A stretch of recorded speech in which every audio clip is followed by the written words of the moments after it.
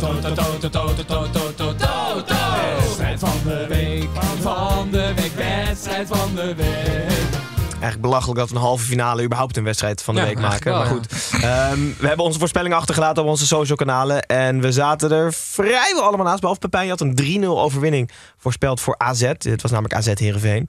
Eh het werd uiteindelijk 2-0 met eerste doelpuntenmaker Dani de Wit. En we hebben de winnaar, Jurik Steins. Had 2-0 met eerste doelpuntenmaker De Wit Leuk. voorspeld. Dus als je 24 plus bent en tamelijk bewust bent van wat gokken je kost, stop namelijk op tijd, dan eh, maak jij kans als je in onze DM slide op 25 euro speelt goed van Toto. Dus eigenlijk Zo dan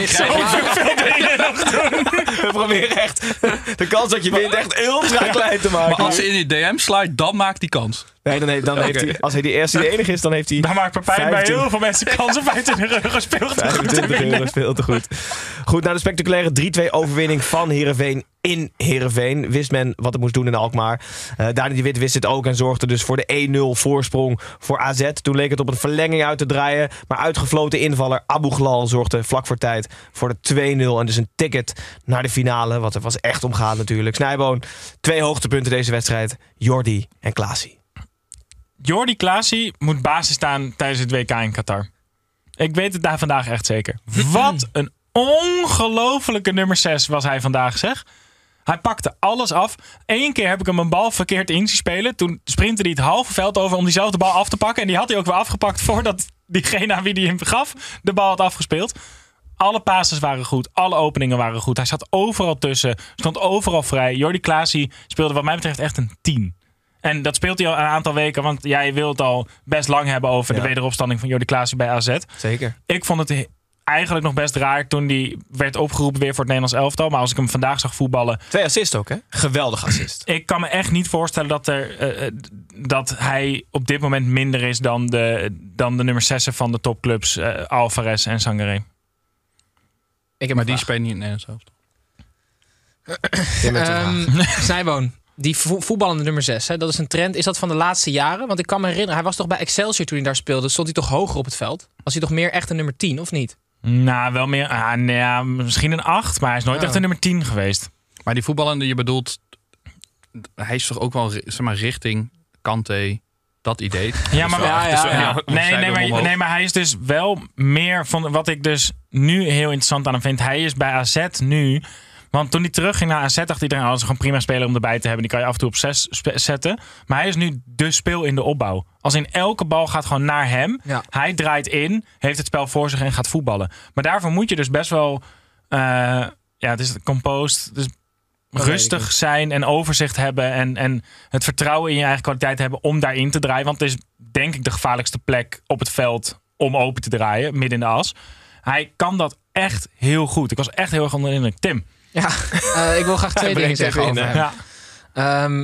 Hoe knap is het van hem dat hij op zijn niveau is gebleven... terwijl hij gewoon een jaar lang eigenlijk alleen maar op de bank heeft gezeten? Nou, en teruggekeerd op dat niveau. Want En ik was hem echt ik op de dus duur verloren als speler. ik vind het namelijk heel leuk om... eh, eh, kijk, als je iets kwijt bent, dat is heel vervelend. Maar Maar, het is, jij bent ook iets kwijt, toch? Daar wil ik je- naartoe. Ja. Ja, dus, maar ik, ik heb dus het gevoel... Ja, ik ben mijn koptelefoon kwijt van echt 200 euro. En ik wacht, ik, ben, ik, heb, ik vind dat heel leuk. Want op een gegeven moment ga ik hem waarschijnlijk terugvinden. En dat gevoel is geniaal. Ach, wat schattig. Maar jij gaat hem... Nee, jongen, jij bent hem buiten verloren. Jij gaat hem helemaal niet terugvinden meer. Jij moet op de duur een nieuwe gaan kopen. Maar ik heb dus het idee dat ik Klaasie heb teruggevonden. En, en hij is ongelooflijk goed. Dus AZ heeft gewoon een speler gevonden die een jaar lang geen aandacht kreeg. Omdat ze daar zogenaamd andere spelers hadden. Hij was... Oh, zogenaamd. Koopmijner speelt op zijn positie. Ja. Is hij, ooit zo is goed, veel beter. is hij ooit zo goed geweest? Ja, hij was in dat laatste jaar bij Feyenoord. Voordat hij naar Southampton ging, was Ja. hij ook verschrikkelijk Ja. goed. Ik vind hem wel zijn top benaderen hoor. Maar we hebben genoten van hem, hè? Ja, heerlijk. Ja. Absoluut. Weten Ehm, jullie nog zijn assist op Van Persie bij, eh, tegen Costa Rica? Dat was echt een beetje dit hoor. Zo, zo, hij heeft namelijk een, het is namelijk, eh, hij draaide heel raar zo naar buiten. Ja, nee, dat kan. Ik heb Allebei idee. die assist. Dus niet buitenkant voet, maar buitenkant vergeven. ja, zoiets. Nou, kijk, maar, kijk maar terug, Gijs. Tegen, tegen Ehm, Costa Rica. Goed, Klaasie dus geweldig. AZ geweldig 2-0 gewonnen. Heerenveen na een 3-2 overwinning helaas afgevallen eh, in de halve finale. Maar de positiviteit is wel terug rondom Heerenveen. Ik hoorde het interview met Ole Tulbiassen, zoals jij hem noemt. Ja, ja, precies. Hier Maar- is trouwens die gebronsd aan het permanente hier. aan die- tafel. maar Pepijn, en die, die had er weer zin in, die was positief. Die zei eigenlijk hebben we alles goed gedaan. Hij baalde maar een klein beetje dat ze niet de finale van de playoffs bereikt hadden. Maar het tij lijkt gekeerd in Heerenveen. Ja, daar, daar, daar lijkt het wel op. Maar is hij niet te enthousiast? Is het niet een beetje het, het, gevaar dat het zo'n Henk de Jong, daar werkt het. Maar is, kan je te enthousiast zijn en kan je te positief benaderen? Want ze liggen er wel gewoon uit na een eerdere, eerdere overwinning. Ja, maar je Nee, had, ze, je had ze nee. nooit rekening mee gehouden, toch? Of mag je, dan- moet je dan nog steeds boos zijn? Ik vind hem in zijn interviews en zo ook helemaal niet Henk de Jong-achtig. Van het is allemaal fantastisch ook als het slecht gaat. Maar hij heeft het gewoon wel echt op de rit gekregen. Ja, maar ja. compliment, ook, complimenten ook. eh. Ik krijg nu trouwens die assist van Klaas weer om de neus geduwd van dat jongen. Dit is fucking geniaal. Er staat, het is een YouTube-filmpje, Jordi Klaasje over de perfecte paas. podcast. Moet je heel veel kijken, Gijs. Kijk. Dit is toch precies hetzelfde? Het mooie is, als hij niet aan de beurt is, dan gaat hij op zijn telefoon gewoon YouTube kijken en zo. meestal, Totdat hij- meestal Candy beurt Crush, maar Dit is een geniale goal. Doe die tas eens van tafel. Doe die jas eens Oké, uit. oké, ga maar door. Goed, eh, eh, nog één opvallend, eh, opvallende verschijning bij Heerenveen, Tim. En volgens mij had jij die gezien. Wie ben jij? Ja, ik ben Willy en jij René. En samen zijn we altijd met z'n tweeën. Ja, nu weet je niks, hè? Zit hij in paniek hier? Zit hij te schreeuwen? Wie is dit? Hoezo? Nee? Oké, Ik, tuurlijk weet ik het. laat me zien dan. Nou, omdat Laat op de zien, bank hè. bij Herenveen Ja, zat eh, Andy Murray. Ja, ja. De murray. Want eh, die, ook hij vond het heel leuk om bij Herenveen te horen. En hij is ingestuurd door ons stagiair Ties Bruins. Geef Maar- nooit applaus.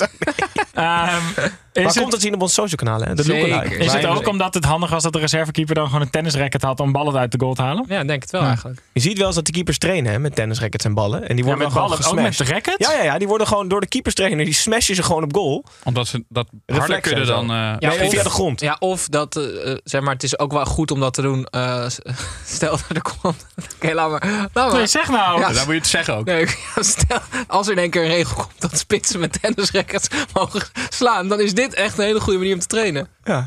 Toch, Snij? Vanuit deze, hoek, vanaf deze hoek leidt hij trouwens best wel. Dus komt het zien op onze social kanalen. Ryan Kolwijk en, eh, hoe heet die andere? Roger. Roger zijn er ook bij. Twee voor de prijs van één. Eh, goed, eh, dan verlaten wij AZ, Heerenveen, AZ naar de finale. En gaan we door naar... Hi, willen jullie even aan Nuno en de Zon vragen of ze zich abonneren op het YouTube kanaal? Vergeet de notificaties niet. do do do do do